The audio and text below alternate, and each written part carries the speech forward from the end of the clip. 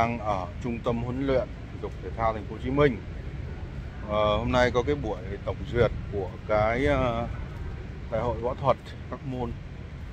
Thì hôm nay mình sẽ đến để mình quay uh, làm trailer với làm những cái thước phim đầu tiên cho cái sự kiện này. Hôm nay cũng có khá là nhiều cái bộ môn sẽ xuất hiện ở đây. Anh em cùng theo dõi nhé.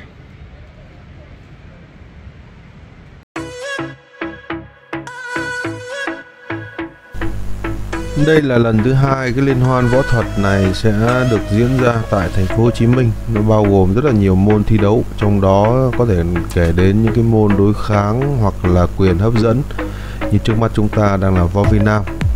À, ngoài ra cũng thể cần kể đến thêm như là võ cổ truyền, uh, ủ su, pencasilat, thái cực quyền hoặc là những cái môn uh, mới như là môn kendo à, cái mục đích ra đời của cái liên hoan này là muốn là đem đến cho người xem tức là những cái quần chúng những cái nội dung à, thi đấu để mọi người hiểu thêm về võ thuật hiểu thêm à, về những cái tinh hoa của những cái môn võ và qua đó giúp cho mọi người trở nên yêu võ thuật hơn.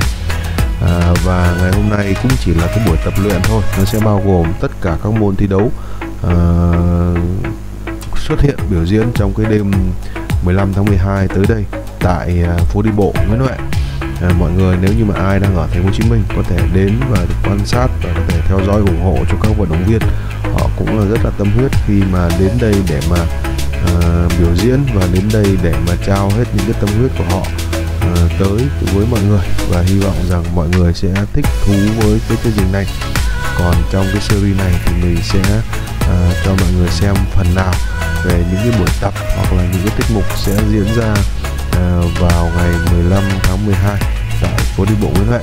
Và rất mong sẽ gặp mọi người ở đó vì ngày hôm đó mình cũng sẽ đến đó và đóng vai trò là uh, truyền hình uh, tổ chức livestream toàn bộ cái sự kiện này.